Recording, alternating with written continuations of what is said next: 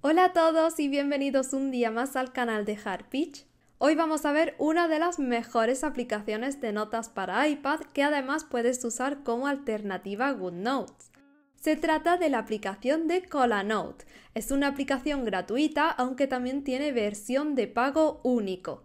Esta aplicación fue actualizada recientemente y la han mejorado muchísimo, así que hoy vamos a ver más sobre ella y cosas que podemos hacer. Recuerda que toda la papelería digital que enseñamos la puedes encontrar en harpitch.com. Hay agendas, cuadernos, stickers, tipografías. Además puedes cambiar la moneda al final de la web. Y antes de empezar no olvides dar like a este vídeo y suscríbete para no perderte novedades en aplicaciones y más tutoriales. Y ahora sí empezamos. Para lo primero que quiero enseñar nos vamos a ir a este icono de ajustes y aquí podríamos escoger el color de la aplicación. Por lo tanto podemos elegir cómo queremos que se vea esta opción me gusta mucho ya que a mí me encanta personalizar todo y podemos estar cambiando el color cada vez que nos apetezca.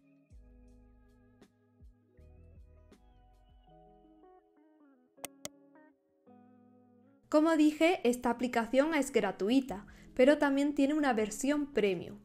Aquí podemos ver lo que incluye cada opción. En la versión gratuita tenemos todo lo básico, podemos hacer cuadernos ilimitados, podemos duplicar hojas, ya tenemos bolígrafos, también tenemos plantillas de hojas, de cuadros, de puntos. La versión gratuita es perfectamente compatible con la papelería de Harpitch, así que podrías usarla sin problema. La versión premium es de un pago único y trae muchísimas cosas. Por ejemplo, tendríamos acceso a más de 20 pinceles. También podríamos personalizar la portada de las carpetas, tendríamos estabilizador en la escritura a mano, tenemos la herramienta de grabación de audio. La versión premium es de un único pago, no es suscripción, simplemente pagas una vez y ya tienes acceso a todo lo que incluye. Lo primero que podemos hacer es crear carpetas. Esto también lo podemos hacer en la versión gratuita.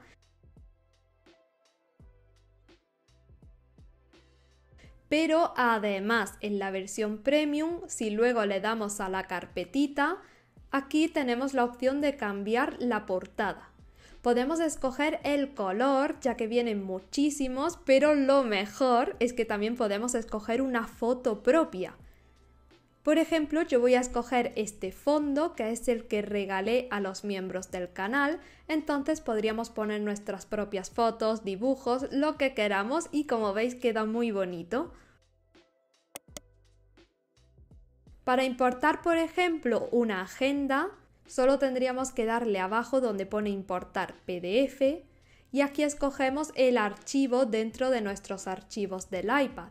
En este caso voy a darle a la agenda y listo. Ya no habría que hacer nada más. De igual forma se haría, por ejemplo, para importar un cuaderno.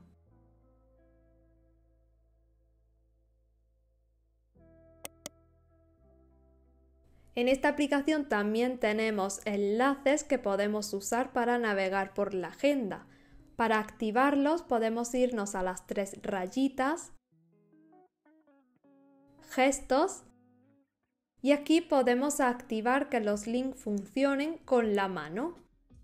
Una vez activado, para navegar por la agenda, en vez de pulsar con el lápiz, solo tendríamos que darle al link con nuestra mano. Así que es muy sencillo.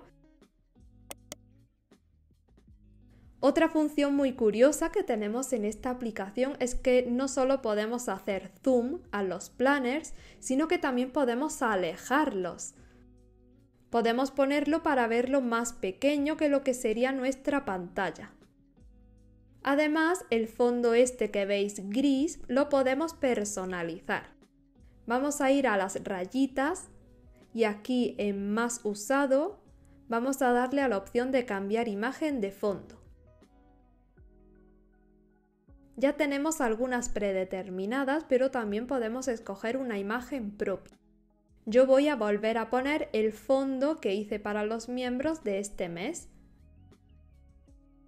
Y así nos quedaría. Ahora vamos a ver un poco más de las herramientas que tenemos aquí en la parte de arriba. Por ejemplo, primero tenemos el bolígrafo. Al tener la versión premium vamos a tener acceso a más de 20 pinceles distintos. Los hay muy diferentes, incluso los hay con efecto en 3D. Luego abajo podemos escoger el color, hay muchos colores predeterminados, pero también podemos agregar uno personalizado aquí en el más. En esta ventana ya tenemos para crear nuestro color, si nos vamos a la tercera opción, la de reguladores, aquí es donde podríamos poner los códigos de color que a veces os doy en redes sociales. Entonces aquí se escribiría pero lo mejor de esta parte es que tenemos un cuentagotas, así que lo podemos coger directamente y seleccionar el color del cuaderno de la agenda que estés usando y tener el mismo color, por lo que podrías tener pues tus paletas de color a juego con tu agenda, tus cuadernos, etc. Seguimos en esta ventana de los lápices y abajo ya tendríamos el grosor o tamaño, y también tenemos para escoger la opacidad, según queramos que se transparente más o menos nuestro lápiz. Por último, tenemos una casilla que pone añadir a favoritos. Por lo tanto, nosotros podemos configurar un pincel con el tipo de pincel, el color, el grosor y la opacidad que queramos. Así que puedes probar y cuando ya te guste la opción, le vamos a dar a añadir a favoritos y esto hace que se nos guarde nos aparecería justamente en la esquinita derecha. En esta misma ventana, al lado, podemos ir a configuración avanzada.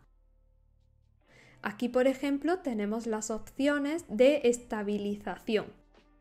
Tenemos diferentes niveles de estabilización. Esto nos sirve para que al escribir se sienta como más suave y también las letras nos salgan más uniformes.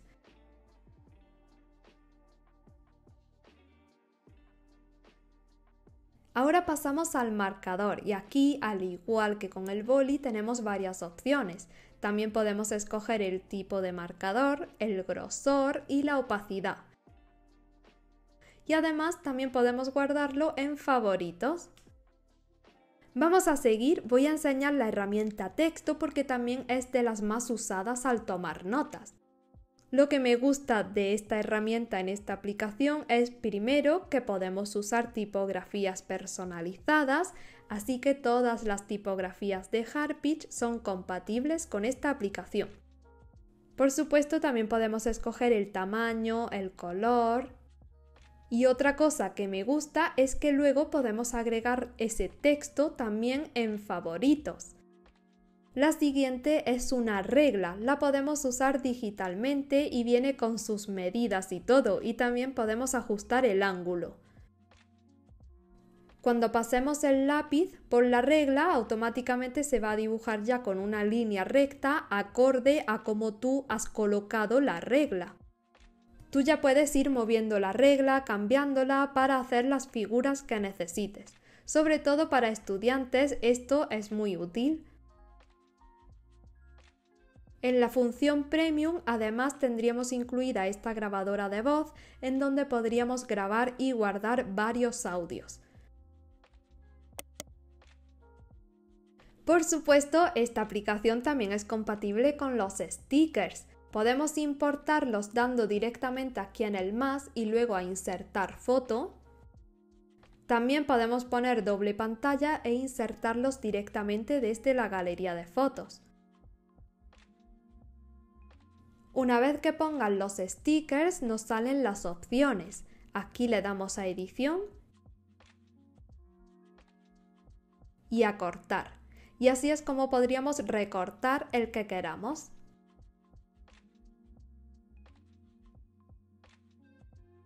Para cambiar de sitio un sticker que ya hemos puesto, vamos a darle a este iconito entonces el texto, fotos, stickers se selecciona. Y ahora ya sí podemos cambiar de sitio a aquello que queramos. También tenemos un sitio extra para guardar nuestros stickers y tenerlos siempre a mano. Le damos al más, luego al iconito de stickers.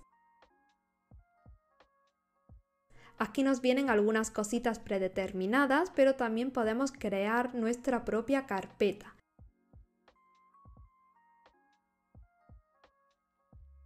Y aquí dentro de esta carpeta podríamos insertar los stickers que nosotros queramos. Por tanto, hemos creado una carpeta con nuestros stickers dentro y así podríamos usarlos siempre que los necesitemos.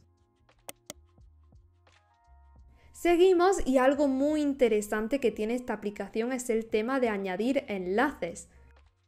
Vamos a ir al más y le damos al último icono.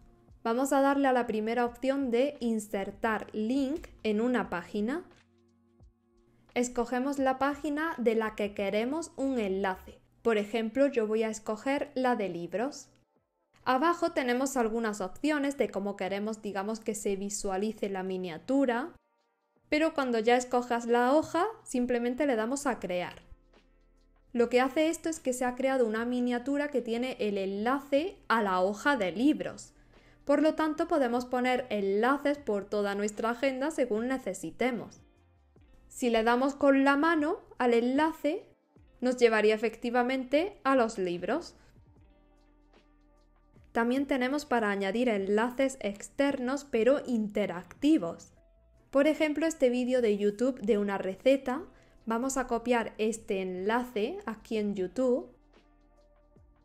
Ahora vamos a la aplicación, vamos al más y a los links y le damos a la segunda opción. En esta ventana, arriba del todo, vamos a pegar el enlace que hemos copiado de YouTube. Se nos abre el vídeo completo, pero pues lo minimizamos para seguir con los ajustes. Abajo tenemos de nuevo varias opciones. Por ejemplo, ahora vamos a dejarlo en interactivo. Y le damos a crear esto nos crea una mini ventanita de YouTube que podemos agregar a nuestro planner y podemos ajustar el tamaño. Y lo mejor es que funciona.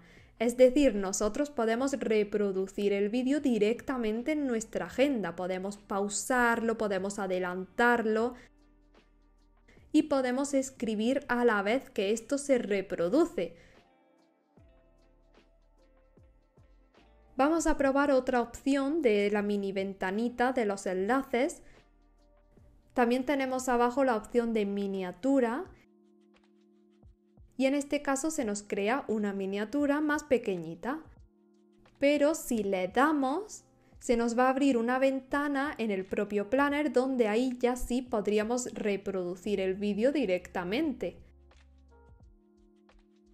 Y hasta aquí el vídeo de hoy. Hemos visto muchas cosas de esta app, pero la verdad es que tiene aún más cosas por enseñar, así que decidme qué os ha parecido, qué herramienta de las que hemos visto os ha gustado más y si os gustaría más tutoriales de esta aplicación.